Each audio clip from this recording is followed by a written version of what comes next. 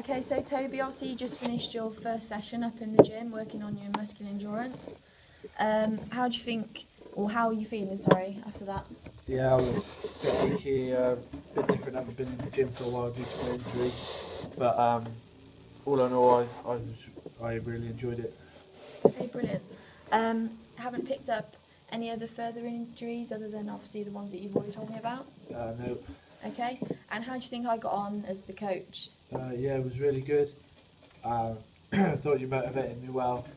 Uh, good encouragement for the last couple of sets and the last reps. Because uh, I got a little bit tired towards the end. Obviously, I'm working on my muscular endurance for a reason. So uh, I thought it was really good that you pushed me. Um, and all in all, good demonstrations. Uh, confident, really well. Okay. Um, any other questions you have for me? Yeah, that's it, thank you. Okay. Um, obviously, the next two days, um, on the Thursday, you're going to be doing um, a power set. All right. Are you happy to do that session on your own? Obviously, I can give you the plan and you can go through it. Yeah, yeah, sure. Yeah. And then on, on the Friday, because that's a speed punching and technique session, um, I'm going to come up to the gym and obviously help you with that one. Yeah, that's, Alright. that's cool with me.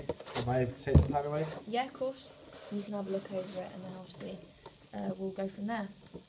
Okay, thank you. Thank you.